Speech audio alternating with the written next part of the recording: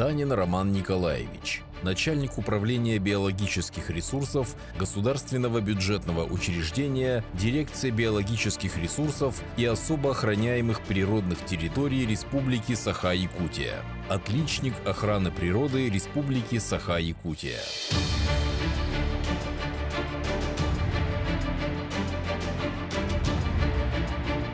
Здравствуйте, уважаемые слушатели! А, Сегодня я вам расскажу о некоторых способах а, сохранения биологического разнообразия на территории Республики Саха-Якутия. Начну вот с Красной книги. Это одна из основных, э, можно сказать, инструментов сохранения биологического разнообразия. А а вообще, знаете, что такое э, биологическое разнообразие? Это совокупность э, тех или иных видов животных, растений, грибов, которые находятся на определенной территории. И очень важно сохранить разнообразие совокупности вот этих видов. Красная книга как раз-таки э, преследует цели э, сохранить наиболее уязвимые из них. Это те виды животных, которые по своей природе так или иначе подвержены от, основному антропогенному фактору. То есть это те виды, которые очень уязвимые. Например, белый медведь. А вот эти виды, они по своей природе, они вот сами по себе редкие, но если увеличить их смертность, они могут исчезнуть. Чтобы э, определить вот это, э, какие именно виды э, стоит э, считать вот редкими, э, как раз-таки вот издается Красная книга. Красная книга, вы, наверное, представляете вот сразу вот книгу красного цвета, да? Но основной документ это не вот этот, а вот это постановление. То есть на законодательном уровне э, есть э, свод закон, ну, закон, который определяет э, порядок включения в список исчезающих видов э, животных. То есть на основании закона, да, э, у нас он в республике называется Указ президента Республики Саха-Якутия от 2 октября 2006 года, номер 2942 о Красной книге Республики Саха-Якутия. На основании этого закона э, делается список э, э, краснокнижных животных и утверждается постановлением правительства. Вообще э, у нас первая Красная книга была, ну, список был утвержден в далеком 87 году. Второе обновление было в 2003 году. И вот в 2017 году обновилась Красная книга по растениям и грибам. Вот постановление, да, от 2017 года, то есть вот она. И в этом году обновилась список по животным, то есть беспозвоночным, позвоночным животным. От 26 сентября новый указ вышел. В 2017 году э, новый список, да, на основании нового списка был сделан, выпущен вот первая книга, первый том. Это Красная книга Республики Саха-Якутия, редкие находящиеся под угрозой исчезновения виды растений и грибов. В этом году на основании вот э, недавно вышедшего э, постановления у нас э, должна издаться красная книга уже по животным. Мы ждем его буквально вот на днях, то есть э, тира- тираж уже готовится. Вообще вот этот документ, он постоянно меняется, постоянно обновляется. Некоторые виды э, восстанавливаются, например, э, э, ввиду вот, э, принятых охранных мер, они восстанавливаются, их исключают из постановления. То есть, э, вот, например, какой-то вид он был, но ученые доказали, что он уже находится вне опасности, и его выводят. И опять- опять-таки выводят, но э, примерно раз в 10 лет э, полностью, ну, книга устаревает, как бы, да, там очень много изменений происходит, э, количество этих изменений достигает очень большого значения, книга уже э, не актуальной становится, которая вот в печатном виде. Э, Не все вот умеют пользоваться консультантом, э, и удобнее вот на руках иметь, да, вот э, книжку такую. Красная книга, да, не только вот может быть республиканская, она есть российская красная книга, она есть мировая, есть различных уровней, да, государственных может быть. Почему мы не пользуемся красной книгой, например, России, да? На примере вот одного животного покажу, да, Э, овцебык. Он в Красноярском крае считается охотничьим видом, например. Он по России не включен в Красную книгу, но его очень мало в Республике Саха-Якутия. Получается, э, в Красной книге Российской Федерации этого вида нету, но у нас он малочисленный, и его туда включают. Те виды э, животных, которые включены э, э, Красную книгу России, они обязательно должны быть включены в э, Красную книгу республиканского. Ну, те виды, которые обитают, конечно, вот э, какой-нибудь краснокнижный богомол, там, тропических видов у нас не обитает, его, соответственно, не будет. Просто те виды, которые у нас есть и которые включены э, в Красную книгу России, они обязательно включаются в Красную книгу Якутии. И дополнительно те виды, которые не включены в Красную книгу России, они включаются, если они редкие, в Красную книгу э, Республики. Как вообще определяется, да, вот, э, малочисленный ли вид? Имеет право определять малочисленность вида только вот такая аккредитованная научная организация. Для нас это всегда, э, даже с первых изданий вот этой книги, это всегда является Институт биологических проблем корреляционным. Настоящие да, аккредитованные ученые, специалисты, они постоянно э, ввиду специфики своей работы ведут вот, мониторинг различных видов, особенно по птицам, там, по животным. И Э, а наша задача государства, да, как, например, вот нашего полномочия вот по Красной книге переданы э, Министерству э, экологии, природопользования и лесного хозяйства Республики Саха-Якутия, мы должны э, контролировать вот, э, переиздание, там, э, находить средства для издания Красной книги, нанимать тех же ученых. То есть мы э, э, грубо говоря, вот, э, нанимаем ученых, они для нас проводят мониторинг, говорят, этот вид находится под исчезновением, этот вид уже многочисленным.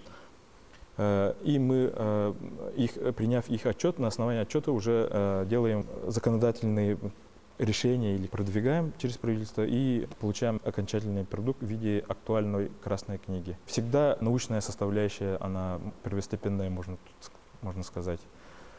Так, ну по составу Красной книги это растений, конечно, всегда больше. Вот э, в свежем издании Красной книги по растениям и грибам это у нас 337 видов э, включено, а по животным там 134 животных.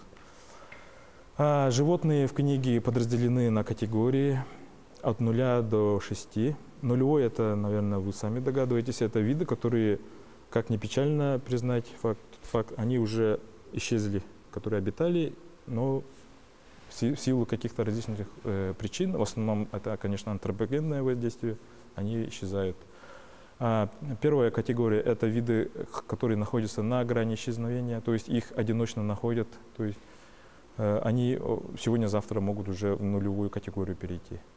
А вторая категория – это э, виды э, животных, которые стремительно уменьшают свою численность и могут в будущем исчезнуть, если не взять его под защиту. Да?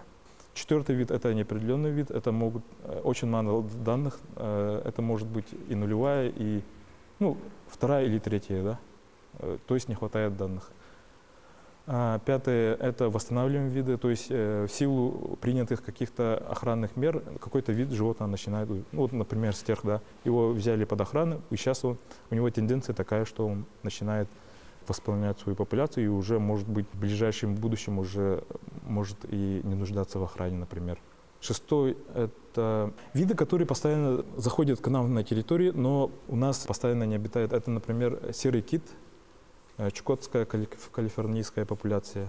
То есть он между Чукоткой и Калифорнией где-то там обитает, размножается, но на, нам он заплывает. Но заплывает часто и постоянно на постоянной основе.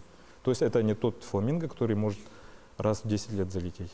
Пятой категорией могут считаться те виды, с которыми ведется не только охранная э, работа, а именно восстановительные, например, наверное, слышали, да, вот реинтродукция лесного бизона, расселение ФСБК в тундровой части Якутии. Вот э, те виды, которые когда-то были у нас, э, обитали на нашей территории, но в силу вот, э, климатических факторов они вот, исчезли э, в историческом плане давно, но в биологическом плане недавно. Это 2000 лет, это считается недавно. И их э, начинают восстанавливать. Вообще восстанавливаем данный момент виды относится к тем немногим остаткам мегафауны, которая широко была э, распространена вот по всей Евразии, в том числе на территории Якутии. Э, это так называемая мамонтовая фауна, то есть это те животные, которые жили э, рядом вот с мамонтами. Это бизоны, овцы-быки, северные олени, там шерстистые носороги. Вот вся эта мегафауна, она в основном вымерла, но часть осталась. Вот э, представляете, да, Евразия, да? рядом через Берингов пролив э, находится Северная Америка. Некогда э, была так называемая Берингия, то есть ледник, покрытый слоем почвы, можно сказать. И он был достаточно широкий. Некоторые вот представляют Берингию как мост из Азии в Северную Америку, да, маленький. Но нет, он был очень широкий в свое время. И все эти животные, да, мамонты, бизоны, олени, все они проникли в Северную Америку. Потом этот ледник растаял и со временем исчез совсем. То есть оказалось две популяции, да, получается. И в силу э, некоторых факторов, возможно, даже вот в Евразии издревле со стороны человека был прессинг, даже вот первобытного, хотя он был малочисленным э, по сравнению с нынешним количеством да, людей. Но некоторые ученые считают, что это сыграло основную ну, роль исчезновения этой мегафауны. То есть Северной Америке как-то они сохранились, бизоны да, и овцы-быки, а у нас почему-то нет. Это, возможно, когда было вот уменьшение численности до каких-то критических отметок, а красных книг тогда не было, да, и вот остатки, вот ослабленные остатки все-таки добил человек. И в Северной Америке он сохранился, да, вот очаговый, потом он э, обратно возрос, а у нас полностью погас, можно сказать. В 80-х годах э, ученые да, того же Института биологии они рассматривали наиболее потенциальные виды для вот, восстановления численности. И одним из них оказались это овцебык и бизон.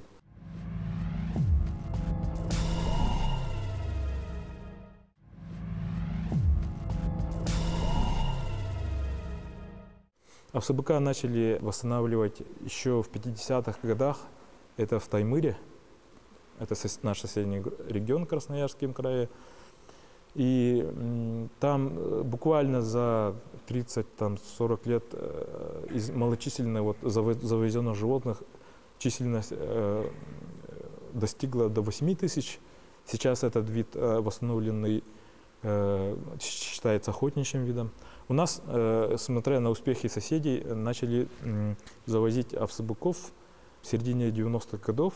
Всего было около 10 завозов э, с Красноярского края. Э, и подножие гор Буранга, они вот в тундровой зоне обитают.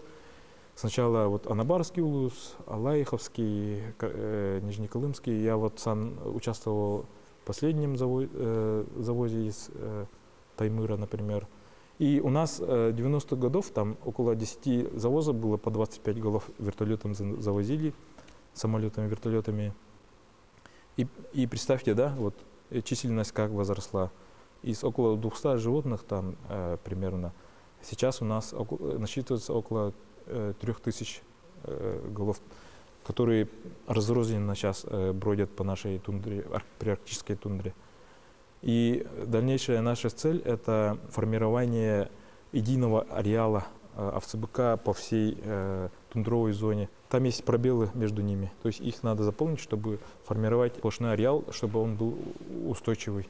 Потенциально это очень такой хороший охотничий вид, э, то есть мы задачу выполняем обогащение биологического разнообразия. И, во-вторых, мы делаем, ну, в будущем это будет польза для малочисленных коренных э, народностей, которые там э, проживают. И в-третьих, это снимет нагрузку северного оленя, например. Северного оленя, наверное, уже слышали, да, у нас э, стремительно численность падает. Даже э, некоторые популяции республики, наверное, запретят охоту в восточной этой части республики. И как раз если бы овцебык стал охотничьим видом, это бы сняло некоторую нагрузку вот северного оленя, например. Вот. Э, можно сказать, что вот это восстановление вида положительный. И на этой волне уже перешли на второй вид, это лесного бизона. Лесной бизон, он не такой тундровый вид, как э, овцебык. Овцебык, кстати, очень интересный вид. Он именно приспособлен в самых суровых условиях а, Арктики. Он как вид образовался у подножия Гималая, где вот, знаете, да, возвышенности там скудная растительность, э, ветреный, э, всегда ветрено, холодно, экстремальные условия. И приспособившись к этим условиям, он ну, внезапно оказалось, что он такие же ниши есть в северных частях да, Евразии.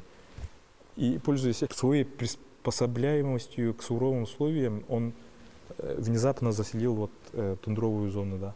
И сейчас он вот как раз-таки у нас вот такие суровые э, места, они вот сейчас мало заселены, там, а там только северный олень э, из крупных копытных ее заселяет, и то он его на, на него очень большой охотничий прессинг, и как раз-таки вот овцебык второй вид стал бы, да. А лесной бизон, он не тундровый животное, а приспособленное к условиям э, примерно центральной и южной Якутии. Это то есть разнотравные луга, долины рек, например, вот. Э, типичная долина это Туймада, который, на которой мы живем. То есть э, есть растительность, более, ну, такая нормальная, да. Есть летний период, зимний период, летний период, при котором они могут запастись там жиром, чтобы пережить суровую зиму, да, например. У нас вообще есть э, по республике, если сравнить э, с другими более вот, э, западными регионами, у нас э, есть очень много незанятых экологических ниш. То есть э, есть, э, вот, например, долины, да, представьте себе, э, долина реки, у нас таких очень много, то есть э, э, лесной э, ручей и долина, да, там кто может спастись? Там э, олень не пасется, он э, в основном на северах, лесной олень, он тоже в основном ягелем питается, да, лишайниками, и э, сильно вот этот не использует вот травянистые луга. Лось, он питается, например, тальником, веточным кормом. Он тоже травянистыми кормами сильно не пользуется.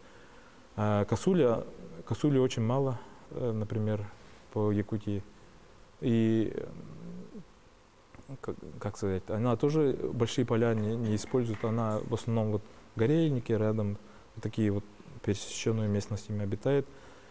И у нас, оказывается, экологическая ниша, да, вот эти поля обширные, э, разнотравные, они никем не используются из диких животных. Ну, например, используются лошадьми, но лошади только рядом с населенным пунктом обитают. То есть есть экологическая ниша, но нету животного, которое бы эти э, нишей пользовался бы.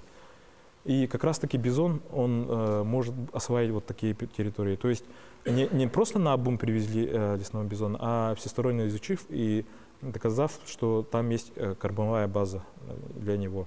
Э, лесной бизон тоже с целью, э, вносится с целью э, обогащения нашего региона, то есть появится новый вид, который в далеком будущем может стать э, тоже хорошим, ну, сами видели, да, наверное, в телевизоре, как индейцы там охотятся на них.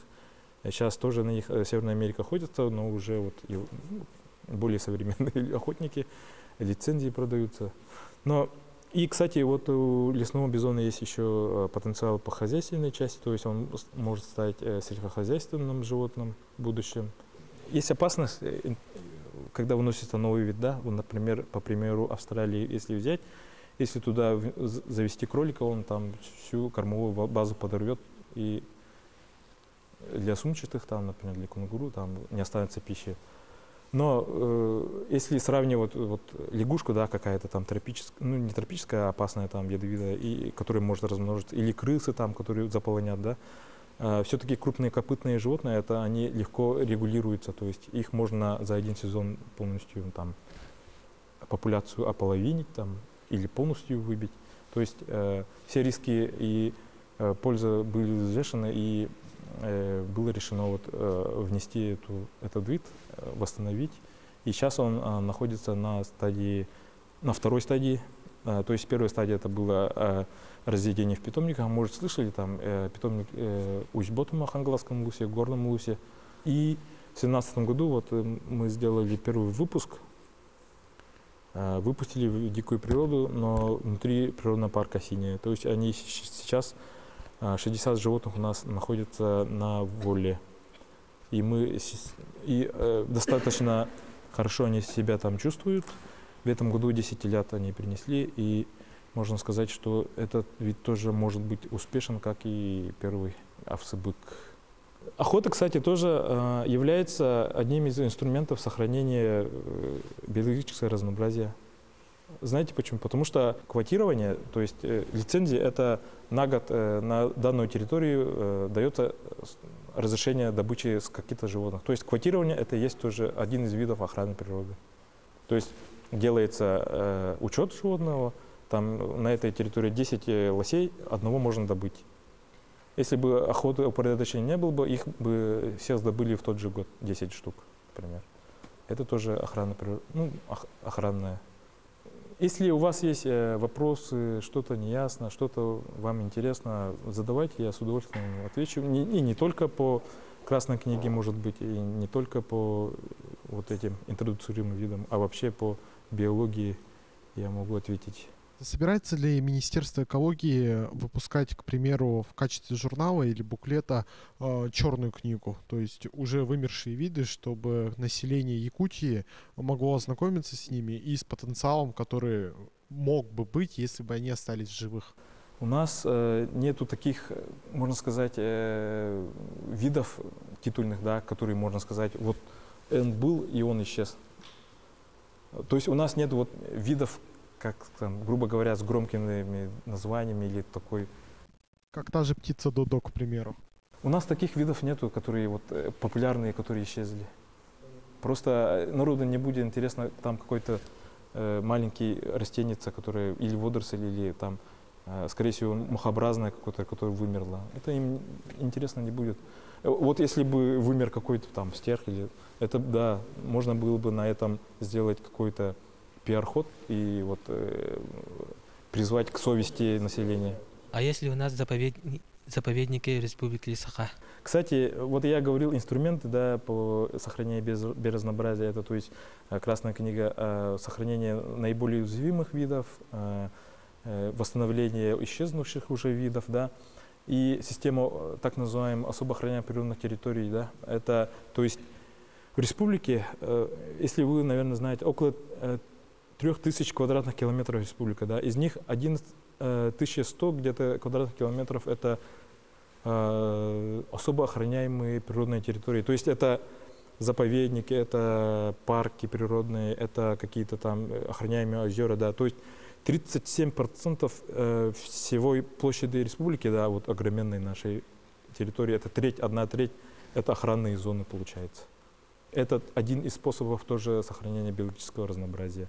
Сейчас точно не скажу, но у нас есть шесть парков, два государств, э, федерального уровня заказника, один федеральный парк. Кстати, вот Ленские столбы недавно э, парком стал, и э, около 100 особо охраняемых природных территорий, 87 заказников, по-моему. То есть много, достаточно много территорий у нас охраняется. Чем грозит добыча краснокнижного вида? Основной сдерживающий фактор, э, то есть э, смысл, почему мы вводим э, список, да, это да, вот, показать народу, вот этот вид исчезает, но опять же введение список исчезающих видов э, сулит э, наказанием да, э, человека, который добыл краснокнижное животное. Редкий вид, который находится в, э, в Красной книге Российской Федерации, он наказывается строже, чем э, вид, э, который находится в республиканском. Например, Э, там может быть до двух лет лишения свободы за добычу белого медведя. Штраф 2 миллиона до 2 миллионов, например.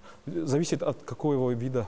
Э, от вида зависит, от количества добытых, э, ну, сколько штук он добыл. И может максимально до двух лет это уже лишение свободы, до двух миллионов это штраф. Вид, занесенный список э, э, исчезающих видов республиканского, там было около 500 тысяч максимум э, штраф. То есть э, вид, который находится в федеральной красной книге, э, наказывается э, строже получается. Но опять-таки 500 тысяч это тоже э, большая сумма. Например, лилия пенсильваника или лилия даурская, э, простонародье сардана. Сорвете, штраф до 500 тысяч может быть. Так что вот э, мой совет изучать этот документ и не нарушать.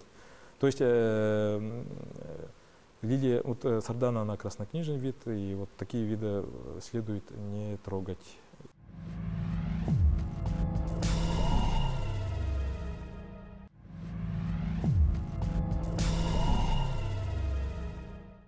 Если краснокнижное растение прорастет а, на сенокосных угодьях, будет ли человек, который там сенокосит, являться нарушителем? Закон для, для всех един, он будет нарушителем. Если это будет зафиксировано там инспекторами и доказано, что он вот, э, добыл или как-то там случайно. Но опять же, э, если суд будет присутствовать, наверное, снисхождение будет, но он все равно нарушает закон тем, что он э, вид уничтожил краснокнижный. Вот, например, да, вывели из красной книги вот э, рыбу, да, промысловую, она была э, как сорная рыба. При уловах его часто ловили, как бы, да. Редкий вид, он обычно, вот его случайно не доб- на то он не редкий вид, что он оказывается вот малочисленным, да. А если он уже э, многочисленный, и он постоянно вот попадает, его случайно добывают, э, его обычно вот э, изучив состояние, это обычно происходит при увеличении его численности, его из красной книги изымают, как бы. Обычно вот, э, когда вот такие э, моменты происходят, э, это очень ну, будоражит сообщество, да, например. У рыбаков вот э, рыба попадалась, и постоянно э, запрещали добычу, потому что э, как сорная рыба, он э, с основным уловом промысловой рыбы попадает, и, и запрещали, народ наш начинает беспокоиться туда, э, сообщает, э, инстанции до правительства доходит, э, создается комиссия, изучается, ученые едут, смотрят, да, действительно, эта рыба слишком многочисленной стала и стала попадаться с промысловой сети. Его взяли и изъяли вот с этого отдельным постановлением, изымают как бы. Но что, несколько случаев должно быть. А вдруг он только на этом поле растет, да? Тогда это поле делают особо охраняемой природной территорией, и все. И там запрещают сенокос, например. Вот. То есть э, вот такие пути решения основные. Как определяют вид, который нуждается в охране?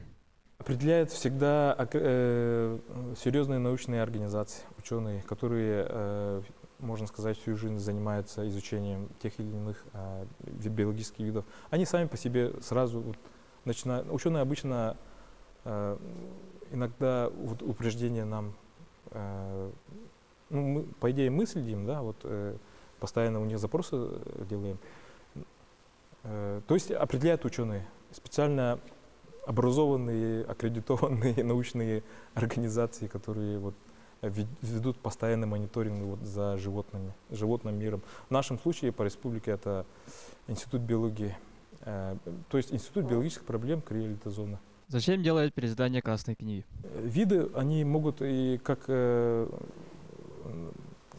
уменьшаться в численности э, ввиду всяких там э, факторов, да, там со стороны человека, со стороны природных факторов, так и восстанавливаться в численности э, э, из-за вот э, при- принятых мер охраны, например.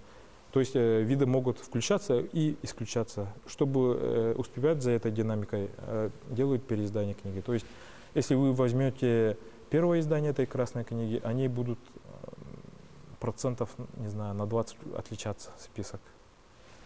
То есть из-за динамики вот, изменения вот, статуса вида. Чтобы актуализировать список исчезающих видов, делается переиздание. В чем отличие Красной книги Республики Саха-Якутия от Красной книги мира? Например, э, в Красной книге мира может находиться какой-то э, тропический вид, да, там жука, который у нас э, вообще не обитает.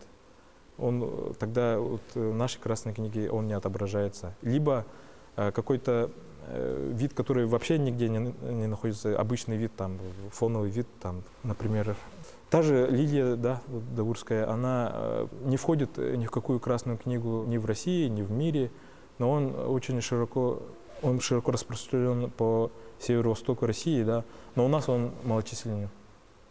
То есть он может не, не находиться нигде, но у нас он только в нашей книге он может быть. То есть всероссийской книги, мировой книги его нету, а у нас он есть, например. То есть э, это наверное, больше зависит от, э, этот, от ареала животного, напри- например, от его количества нашей территории. То есть э, он может быть а, отличным. У соседей мо- может быть его много, а у нас его мало. То есть в этом различие есть. Есть какой-нибудь вид животных, который существует только в этой части России, ну, только в Саха-Якутия. Растение это, по-моему, полынь якутская. И из видов животных я сейчас на скидку скажу только вот а, парусника Мосова. Он только у нас обитает. Кстати, на него очень активно охотятся вот всякие черные эти, как там, коллекционеры или как-то там. Он находится подножных гор обычно обитает этот вид. То есть, да, есть такие виды. Но, но точное количество я прямо сейчас не скажу. Вот э, Аполлона Мосова, например, на скидку я могу сказать. Это бабочка, насекомая, которые, да, у нас такие виды есть. Кстати, э, такие эндемики сразу вводятся в Красную книгу э, Российской Федерации, например. В Крыму существует контактный зоопарк. Как вы к этому относитесь?